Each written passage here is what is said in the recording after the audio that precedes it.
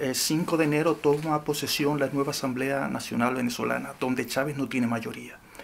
Y el pueblo venezolano eh, saldrá en manifestaciones a apoyar estos congresantes pues, que entraron, que le quitan la mayoría a Hugo Chávez Frías.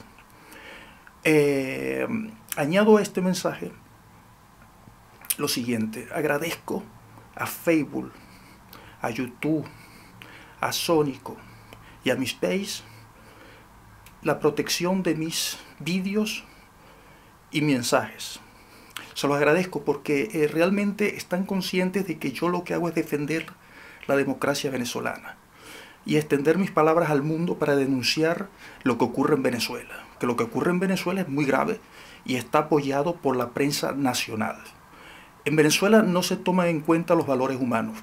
Venezuela es un país, bueno, donde está Hugo Chávez Frías, que es una dictadura que desde que entró Hugo Chávez Frías al poder van más de 100.000 muertos por violencia y que Caracas, bueno, mueren de 40 a 50 jóvenes todos los fines de semana porque este señor Hugo Chávez Frías entregó armas a los cerros de Caracas y entonces estas armas sirven para provocar esas muertes. Entonces realmente eh, yo les pido que protejan mi trabajo y lo multipliquen. Y les doy las gracias una vez más, porque cumplen con una gran labor social en defensa de la democracia.